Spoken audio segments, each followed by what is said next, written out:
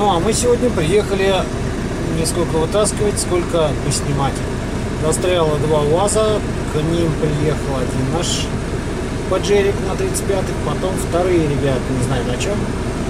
А, вот они пробираются по газопроводу, успешно застревая. Сейчас попробуем пробраться к ним, но скорее всего пойдем пешком, чтобы совсем не раздолбать колею моим 35-м колесом.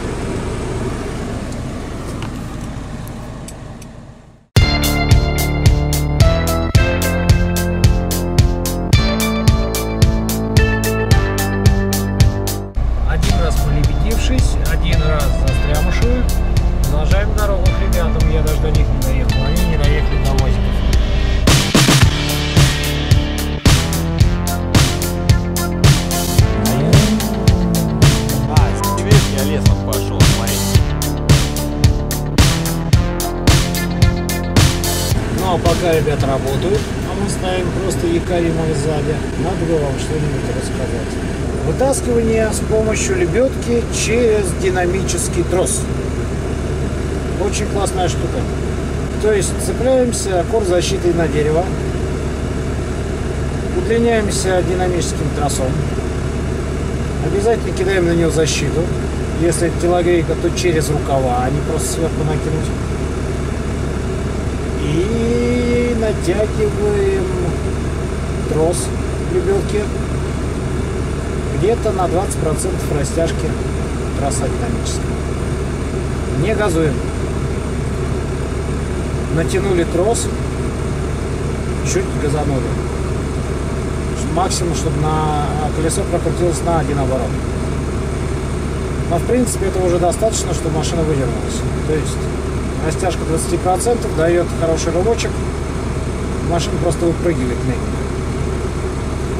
Но опасно, опасно, опасно.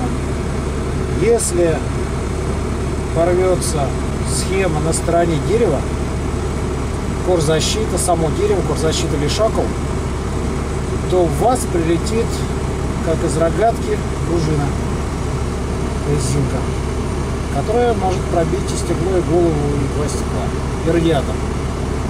Поэтому радиатору это первое, что я закрепил. Там стоит 2-миллиметровая сталь.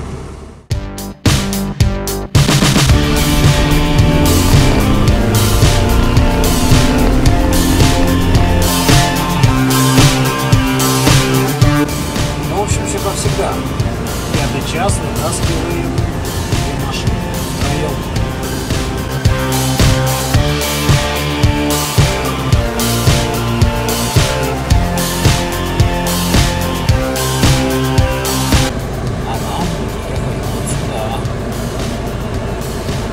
Наша дорога. Вот здесь вот у нас болото.